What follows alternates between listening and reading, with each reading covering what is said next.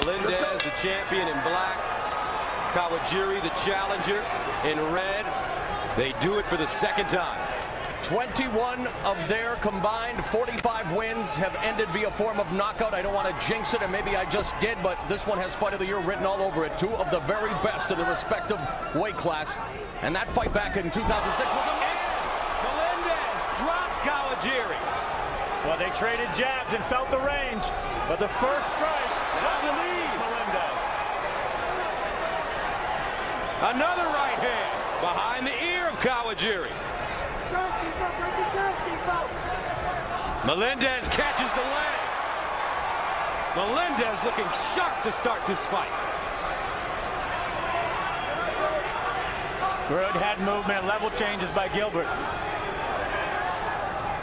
Great shoulder movement and head movement by Gilbert Melendez. Now, he takes a high kick. Knee. Kawajiri in trouble. He falls down. Another right hand.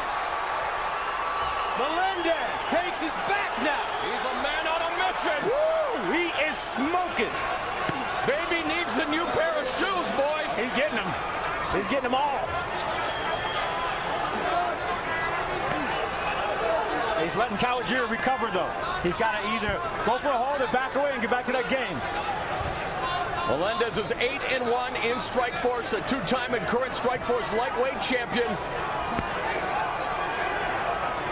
Kawajiri overwhelmed in this first round, and we still have 3.14 to go.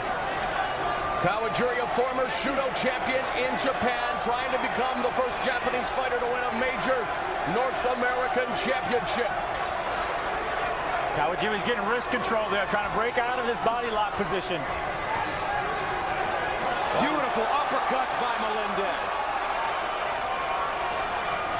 Outlanding Kawajiri 28 to 9 thus far in total strikes landed according to CompuStrike.